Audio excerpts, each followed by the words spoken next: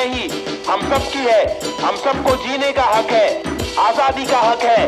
अपनी आवाज़ को उठाने का हक है।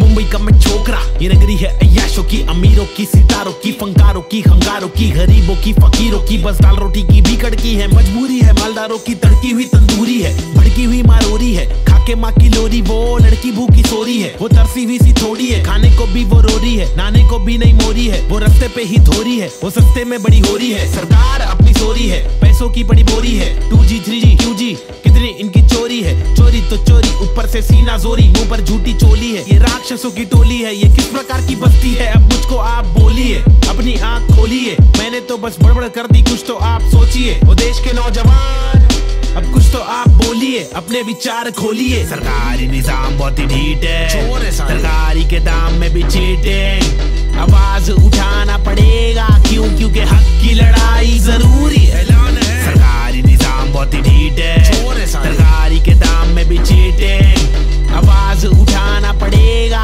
क्यों? क्योंकि हक की लड़ाई ज़रूरी मिलाकर हाथी और घोड़े को लेकर चलो, उन्नति को ढूंढे। हिंदुस्तानी मिट्टी पर सोना उगले गवर्नमेंट है छुट्टी पर सारी कुर्सी, जाली कुर्सी, खैर। चलो खड़े होते खुद के पैरों पे, बजाय नोचने। एक दूसरे को चलो नोचने। फल जो हमारे माता पिता ने बोया था कल जो हमारे दादा पर दादा ने खोया था। चल वापस लाने उन सब चीज़ों को सिर्फ़ दौलत नहीं है, शोहरत नहीं है, जज्बा भी है, तहजीब है, संस्कृति है, अजीब है, पर जो भी है करीब है, दिल के मिल के ताकतवर है, वरना तो हम आपस में ही लड़ते रहेंगे। पॉलिटिकल पार्टीज़ पार्टीज़ करती रहेंगी, कानून लटकी दे। मंत्री लोग मस्ती में, लाशों का ढेर, किसानों की बस्ती में, ज़बरदस्ती इनकी कब तक झेलेंगे? आवाज़ उठाने का और खुद को आगे लाने का, क्या? खुद को आगे लाने का। खुद को आगे लाने का।